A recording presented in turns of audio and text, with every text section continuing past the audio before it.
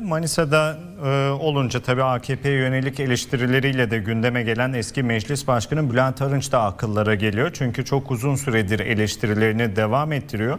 İşte bu konuşmanın hemen öncesinde Bülent Arınç sahneye çıktı. Çok uzun zaman önce kral çıplak demenin zamanıdır çıkışı yapmıştı Arınç. Bu kez Erdoğan'a ve AKP'ye o istedi. Cumhurbaşkanlığı Yüksek İstişare Kurulu üyesi Cemil Çiçek'tense iktidara dış politikada bir eleştiri geldi. Tatlı su balığı siyasetçileri var. Suya sabuna dokanmadan majestelerinin gazetecileriyle bazen baş başa gelirler. Havanın güzelliğinden, suyun berraklığından bahsederler. O sırada da bazı ufak tefek şeyler konuşurlar. Zannedersiniz ki bir şey söyledi.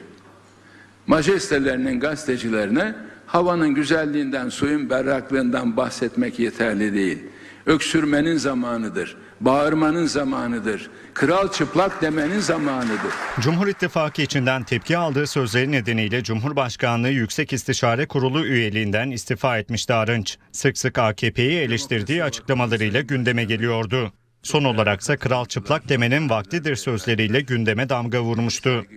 Bir süredir o sözlerinden geri adım atmayan Arınç bu kez Erdoğan'a ve AKP'ye o istedi. Erdoğan'ın Manisa mitingi öncesi konuşan Arınç, davet üzerine Manisa'da bulunduğunu söyledi. Bugün Sayın Cumhurbaşkanımız önemli konuşmalar yapacak. Biz de onun daveti üzerine geldik. Arınç'ın konuşması sırasında kimi zaman meydandan Erdoğan sloganları dağıtıldı.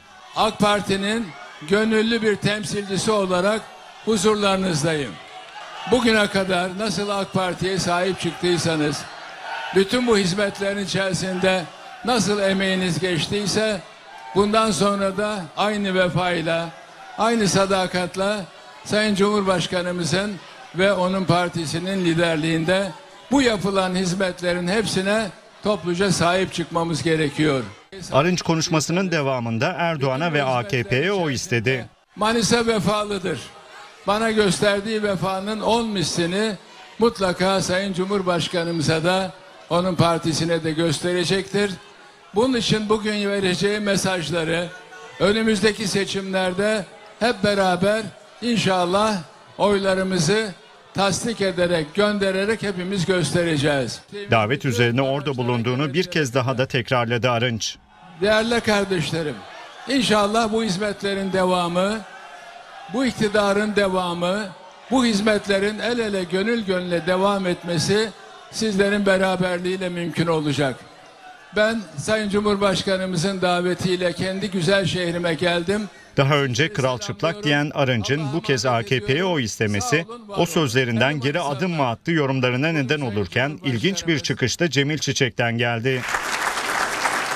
Karar Gazetesi yazarı Ahmet Taş getiren, uzun yıllar AKP'de siyaset yapan ve şimdilerde Cumhurbaşkanlığı Yüksek İstişare Kurulu üyeliği görevinde bulunan Cemil Çiçek'in Türkiye'nin dış politikasında değişen dengelerle ilgili yorumlarını aktardı. Cemil Çiçek'e göre ülke siyasetçilerin yapmaları gerekeni yapmamalarından dolayı bedel ödüyor. En ilginç çıkışı ise siyasette adama kirlettiği testiden su içirirler, bu içeride de olur ama dış politikada daha çok olur sözleri oldu.